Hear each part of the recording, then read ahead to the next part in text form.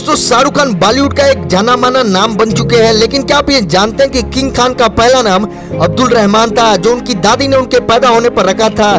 लेकिन जब शाहरुख थोड़े बड़े हुए थे, उनके पिता ने उनका नाम शाहरुख रख दिया। दोस्तों, सबसे पहले 80 के दशक में टीवी एक्टर पवन मल्होत्रा को टीवी सीरियल सर्कस ऑफ़र किया गया था। लेकिन उनके पास टाइम की कमी होने के कारण और फ़िल्म के ऑफ़र होने के कारण उन्होंने वो शो छोड़ दिया, जिसके बाद शाहरुख को सर्कस में ले लिया गया। जिसकी वजह से वह टेलीविज़न इंडस्ट्री के जाने माने चेहरे बन गए। दोस्तों, जब शाहरुख ने डी डी एल साइन की, तब फ़िल्म की शूटिंग के दो महीने बाद जब शाहरुख को फ़िल्म की स्टोरी एक्सप्लेन की गई तो वह इस फ़िल्म को नहीं करना चाह रहे थे, क्योंकि उन दिनों शाहरुख निगेटिव रोल के लिए पॉपुलर थे, लेकिन बाद में यश चोपड़ा के कहने पर शाहरुख ने यह फ़िल्म पूरी की। और जैसे यह फ़िल्म रिलीज़ हुई तो इस फ़िल्म ने बॉक्स ऑफ़िस में सभी रिकॉर्ड तोड़ दिए।